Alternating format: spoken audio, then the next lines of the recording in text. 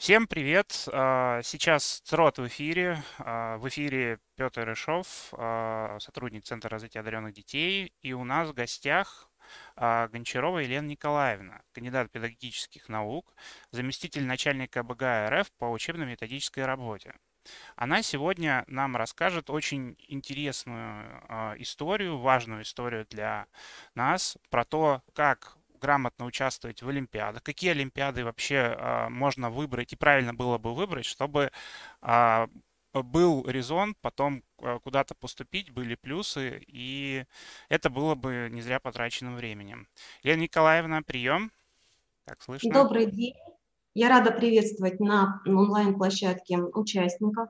А, я сегодня подготовила небольшой такой а, блок информации, который позволит ответить на вопросы, а, которые часто мы слышим от абитуриентов, от родителей и вообще, в принципе, от тех, кто причастен к проведению большого числа олимпиад. Это то, каким образом можно сформировать достаточно эффективно свое портфолио достижений.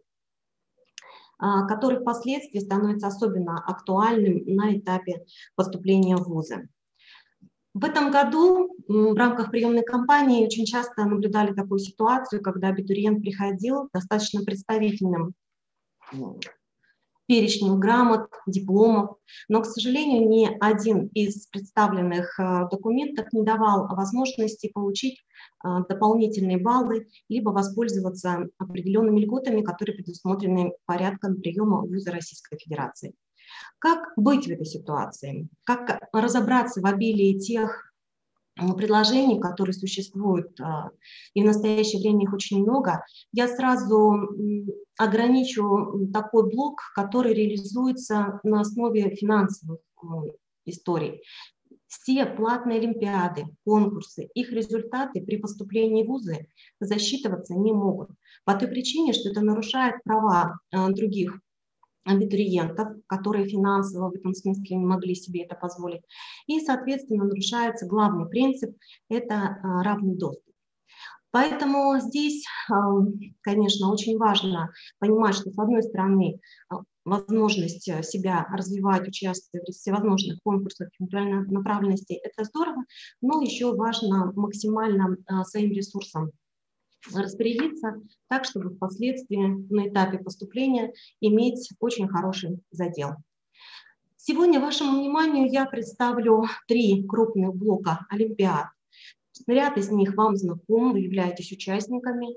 И остановлюсь на тех, э, с которыми с этого года Калининградский государственный технический университет работает и предоставляет беспрецедентные возможности участвовать как можно в большем числе олимпиад и, соответственно, повысить свои шансы на победу.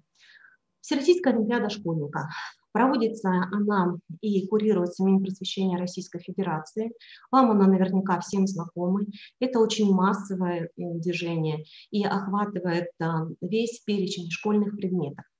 Далее идет по уровню а, значимости перечень олимпиад школьников а, на учебный год, который каждый год утверждается Министерством образования и науки Российской Федерации.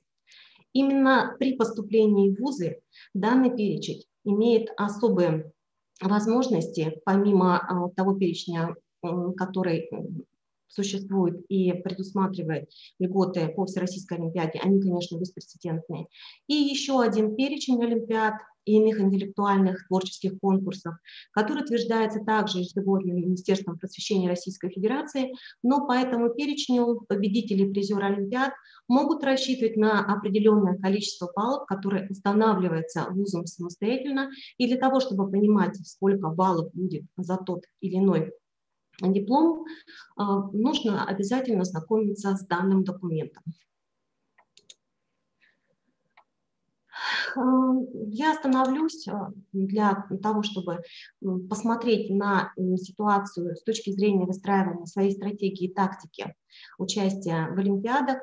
И здесь для сравнения я остановлюсь на Всероссийской Олимпиаде школьников и на Олимпиаде которые входят в перечень, утверждаемый Министерством образования и науки Российской Федерации.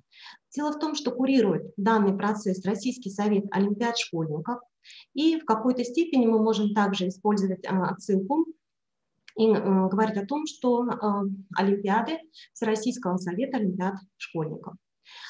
Э, если посмотреть по форме проведения, э, Всероссийская Олимпиада школьников проводится только в очном режиме. Перечень олимпиад школьников, который утвержден Минопром, предполагает возможность проведения как очного, так и дистанционного отборочного тура. Поэтому здесь, э, как вы понимаете, у вас есть возможности, если даже вы по каким-то причинам не смогли поучаствовать очно, есть альтернатива – дистанционное участие. Как правило, оно проходит после э, завершения очного, либо запараллелено с определенным запасом по времени для того, чтобы вы могли поучаствовать. По количеству этапов. Всероссийская Олимпиада школьников включает 4 этапа, вы все это наверняка знаете. А, Олимпиады а, Всероссийского совета Олимпиад школьников включают два этапа. Это отборочный этап и заключительный. С какого класса засчитываются результаты? Если посмотреть на Всероссийскую Олимпиаду школьников, то, как правило, это результаты 9 по 11 класс. Для Олимпиад РСОЖ предусмотрена возможность предъявить результаты, и в соответствии с правилами приема вузы можно рассчитывать на результат, начиная с седьмого класса. То есть вы учились в седьмом классе, стали победителем, призером Олимпиад. Будучи выпускником школы и поступая в вуз, вы можете предъявить эти результаты, и на основании данных результатов вы можете рассчитывать на те льготы, которые предусмотрены для победителей и призеров. В частности, для Всероссийской Олимпиады школьников и Олимпиад ШОЖ предусмотрена возможность поступления без вступительных испытаний.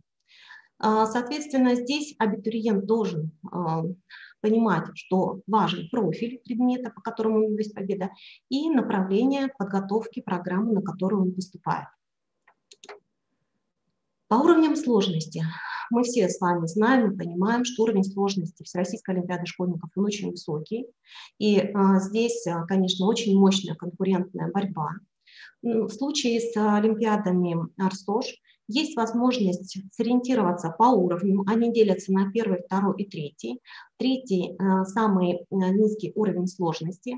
И в этом случае у вас вероятность победы, она э, существенно больше, чем у олимпиад первого уровня. Но при этом также вы должны понимать, что вузы, которые определяют для себя того абитуриента, на которого они рассчитывают, они также ориентируются и а, здесь очень важно посмотреть правила приема. Какой же все-таки уровень та или иная образовательная организация берет зачет. Я поделюсь тем, что Калининградский государственный технический университет в этом году определил, что актуальность результатов засчитывается начиная с седьмого класса, и мы принимаем с результатами всех уровней Олимпиад. Далее. Число победителей призеров. Но данная опция, она важна для понимания того, насколько есть те или иные шансы а, для вот, э, возможности воспользоваться льготами. Как правило, в год победителями Всероссийской Олимпиады школьников а, в регионе, в регионах становится около в пределах десятков человек. А если мы смотрим на площадку, которая массовая площадка проведения российских олимпиад школьников, то где-то 150-200 э, участников, как правило, становятся победителями и призерами олимпиад РСОЖ. И, э, как я уже говорила, э, срок действия дипломов здесь в какой-то степени идентичен, но а, мы здесь понимаем, что для АРСОЖ важна возможность воспользоваться результатом, начиная с седьмого класса. Итак, остановимся вкратце на Олимпиадах Российского совета Олимпиадах, Олимпиад школьников. А, и у нас перечне 86 Олимпиад в этом году. На площадке Калининградского государственного технического университета будет проходить 9 из Олимпиад из перечня. Это достаточно широкий спектр предметных олимпиад, более 27. По данным олимпиадам предусмотрены особые, особые условия для поступления в организации высшего образования вне конкурса. При этом мы должны понимать, что результаты олимпиады мы должны подтвердить результатами ЕГЭ по предмету. Мы должны получить этот результат не менее чем 75 баллов. При этом вузы также могут устанавливать данное значение на свое усмотрение. Калининградский государственный технический университет в этом году установил то, то значение, которое рекомендовано Министерством науки и высшего образования, соответственно, 75 баллов. Победителям, призерам правом на льготу можно пользоваться в течение четырех лет. И а, кроме а, вот тех льгот и возможностей, Калининградский государственный технический университет ежегодно утверждает стипендии специально для тех, кто имеет а, в активе победу в Олимпиадах в размере 15 тысяч рублей и более. Мы так понимаем, что это достаточно хорошее подспорье для того, чтобы а, формировать дополнительно свое портфолио, участвовать в Олимпиадах, а, решить вопрос с гаджетом и так далее. Данная стипендия выплачивается на протяжении первого семестра, а в дальнейшем в зависимости от результатов, при условии подтверждения а, своих высоких достижений, по итогам первой сессии выплата продолжается до конца первого года. Ну а дальше ваша стипендия калькулируется в зависимости от тех а, результатов, которые вы проявите и в учебной деятельности, и в блоке творчества, и в блоке спорт, ну и также в научно-исследовательской работе. Поэтому во многом это зависит уже в дальнейшем от вас. Зачастую возникает вопрос, где взять официальную информацию и, а, допустим, убедиться в том, что сегодня вот э, в той или иной мере я вам прокомментировала. Есть сайт, это официальный источник информации по всем олимпиадам перечня Российского совета олимпиад школьников. Здесь вы можете найти а, коллекцию заданий прошлых лет, вы здесь можете о каждой Олимпиаде получить исчерпывающую информацию. Помимо того, что эта информация аккумулирована на сайте Российского совета Олимпиад школьников, эта информация также есть э, на сайте официальном который э, специально разрабатывается, поддерживается и функционирует у каждой Олимпиады. Важным документом, которым, э, с которым должен познакомиться каждый э, участник Олимпиад, это, конечно, порядок проведения Олимпиад школьников. Из э, данного документа вы можете узнать особенности проведения отборочных туров, заключительных туров, какой процент может быть победителей и призеров. И на основе этой информации для себя сделать определенные выводы и построить свою стратегию, тактику участия в данных конкурсах интеллектуальной направленности. Помимо а, вот такой возможности и такой коллекции олимпиад, представленной на сайте, вы также можете, я вас приглашаю на сайт Калининградского государственного технического университета. В этом году мы специально разработали раздел а, называется этот раздел школьников. Максимально в этом разделе мы аккумулировали все те ключевые события, информацию, которая вам так или иначе может быть полезна. А, по теме сегодняшнего а, вопроса э, я предлагаю познакомиться с разделом Олимпиады для школьников. Здесь в этом разделе вы можете увидеть актуальный график, вы можете э, зарегистрироваться на ту или иную Олимпиаду, по ссылке, э, гиперссылке на сайт Олимпиады познакомиться более подробно э, с описанием, с регламентирующими документами и другими э, блоками информации, которые могут быть вам э, полезны. Кроме этого, я обращаю внимание, что ряд Олимпиад они у нас а, проходят а, в достаточно такой а, представленности в разных олимпиадах. К примеру, олимпиада по математике, она у нас есть и в межрегиональной олимпиаде будущих исследователей будущей науки, и в многопрофильной олимпиаде школьников «Изумруд», и в олимпиаде «Шаг будущее», «Гранит науки», «Самат», «Звезда». Одним словом, математика представлена очень широко, и вы можете выбрать по тем выставленным на сайте прошлых лет заданий, какой Олимпиаде вам интересно было бы поучаствовать, а я вообще рекомендую участвовать как можно более э, большем числе Олимпиад, поскольку это увеличивает ваши шансы побед и дает вам возможность сформировать уникальный опыт.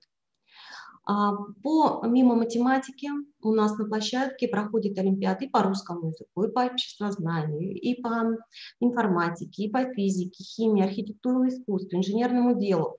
А, полная коллекция, как я уже сказала, на сайте КГТУ в разделе «Школьникам. Олимпиады для школьников». Хочу вам а, сообщить очень такую приятную новость, что Олимпиады у нас идут, и у вас есть возможность поучаствовать еще в отборочных турах в очном формате 12 декабря в Олимпиадах по русскому языку, по архитектуре и искусству, по физике, а 19 декабря по химии. Кроме этого, а, у нас еще а, есть возможность поучаствовать в Олимпиадах в заочной форме. Их коллекция также здесь представлена на слайде, выделена желтым цветом. При этом обращаю внимание, что а, у ряда Олимпиад финальная дата – это 12 декабря, там есть резервный день. Поэтому очень бы настойчиво а, вас приглашала поучаствовать, поскольку если вы пропускаете отборочный тур, весной у нас уже будет проходить э, именно заключительный тур, он проходит, как правило, всегда в очном формате. К нам на площадку приезжают представители вузов-партнеров. Проходит это уже в том объеме тех, кто стал победителями и призерами отборочного тура. И сейчас надо максимально воспользоваться своим шансом поучаствовать, чтобы весной вы к нам на площадку уже пришли, вам не пришлось ехать э, за пределы Калининградской области. И здесь попытать что называется, и по итогам участия получить возможности в дальнейшем воспользоваться своими результатами. Итак, а, по каким источникам необходимо готовиться к Олимпиадам? Это также частый вопрос, а, и здесь а, можно себе определенный запас по времени сформировать за счет того, что предварительно познакомиться с заданиями прошлых лет, прорешать, проработать на сайте Олимпиад найти коллекцию заданий, там также выложены ответы, есть э, итоги туров, есть э, положение, и, соответственно, на основании данной информации при помощи родителей, при помощи, возможно, учителей, ну и, соответственно, где-то в какой-то степени самостоятельно вы вполне будете готовы для того, чтобы поучаствовать в Олимпиадах предельно результативно. И в завершении своего такого краткого выступления я, конечно, приглашаю стать успешным вместе с Калининградским государственным техническим университетом. У нас а, в настоящее время есть а, разные способы коммуникации. Это официальный сайт, о котором я сегодня говорила. У нас а, специально для тех, кто планирует поступать в этом году, создан YouTube-канал КГТУ приемная комиссия. И у нас, конечно же, есть телефоны, по которым можно получить всю исчерпывающую информацию, в частности, то, что касается Олимпиад. Вы можете позвонить по, 90, по телефону 96 50 70, и э, мы с удовольствием вас проконсультируем. И, конечно, Хотелось бы, чтобы вот такое наше с вами взаимодействие было взаимовыгодным, результативным. Я желаю всем успеха в покорении тех вершин и тех задач, которые вы перед собой поставили. Ну а мы в этом смысле готовы всегда помочь и э, рассчитываем на вот такое тесное совместное сотрудничество. Спасибо. Спасибо, Елена Николаевна, большое. А, мы видим серьезный анализ по категориям, какие Олимпиады есть, что выбирать и так далее. Думаю, что а, нашим слушателям а, и те, кто смотрит данный ролик, будет это очень полезно. Скажите, пожалуйста, а если, допустим, я школьник, и я побеждаю в Олимпиадах по гуманитарного цикла, там, русский язык, литература, то а, а поступать в КГТУ я собираюсь на техническую специальность. Будет ли учитываться то, что я а, участвую в гуманитарных олимпиадах, на то, что я поступаю а, в КГТУ на техническую специальность? Здесь важно понимать, а, есть ли тот предмет в перечне вступительных испытаний, по которому у вас есть победа в Олимпиаде. Вы привели пример русского языка. Он есть в перечне предметов на любую программу. Поэтому, а, поскольку он не является профилем для большинства программ технических вузов, он может быть засчитан с результатом 100 баллов по заявлению абитуриента. При поступлении абитуриент подает свое заявление, в котором просит учесть его преимущественное право и засчитать, независимо от того, какой он результат получил по русскому языку, мы понимаем и помним, что это должно быть не менее 75 баллов, но, к примеру, он набрал 82. Но по его заявлению мы засчитываем ему не 82 балла, а 100 баллов за русский язык. Вот такие возможности по непрофильному предмету получить а, дополнительные бонусы при поступлении. Спасибо большое, Елена Николаевна. А, надеемся, что еще раз с вами созвонимся и услышим полезную информацию. Спасибо. Спасибо. До свидания. Всего доброго.